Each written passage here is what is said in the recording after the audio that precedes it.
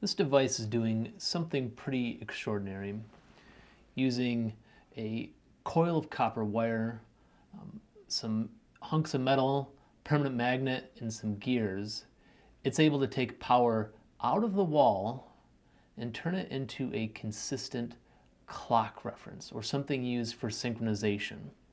There's a much lower cost alternative to what I just showed you um, that we'll see in a lot of regular electronics, and it's this 32.768 kilohertz crystal. And its job is to resonate at that specified frequency and create pulses on and off that it can use to synchronize something called a real-time clock. And that number, that 32,768, that's a convenient number because it's 2 to the power 15 pulses, which is a nice binary number that we can store in a microcontroller. I want to show you something. I, uh, I hooked an oscilloscope up to the coil of this really basic synchronous motor. Um, and just a really quick tip, I removed the ground. I didn't use that ground because I'm not entirely sure on the wiring in here. And this is the earth ground of the socket. So if I accidentally connect this to some sort of actual power on the socket, um, that will create a short circuit and fry things. But anyways, I'm able to now see on the oscilloscope what signal is going across this little um, coil.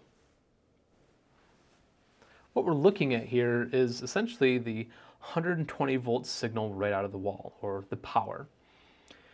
And the power and its ability to make things move and all that stuff is all fabulous, but actually what I want to look at is the fact that the frequency of this wave is 60 hertz, right? It's not an uncommon piece of knowledge to know that. We can actually see that there's some variance in this measurement, right? It bounces around and that could be due to all sorts of things, but typically, right, we can expect this to be at 60 hertz.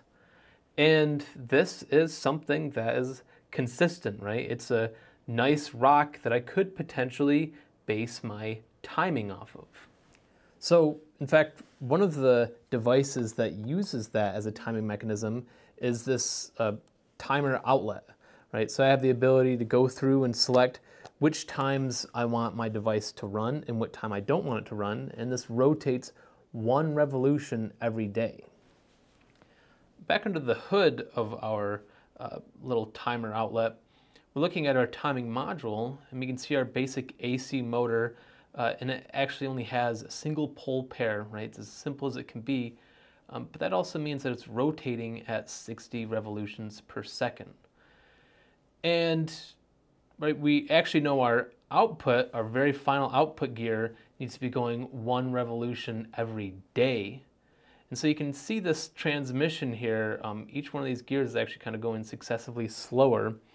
And I calculated out this is around a 1 to 5,400,000 uh, reduction ratio here. So this has a really, really, really low torque right coming out of this motor and it's able to drive something a little bit bigger, but it's driving it really, really slowly, which is what we want. And right, the real, real timekeeping thing is the way that this motor rotates, right? We're actually relying on it to go 60 revolutions every second for this to keep time accurately.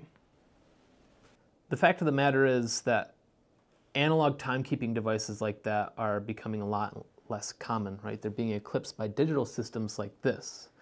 In the example that I showed you, actually made sense because it already had this mechanical interface that um, you were going to set your times in, and so it kind of makes sense to have a mechanical timekeeping mechanism as well.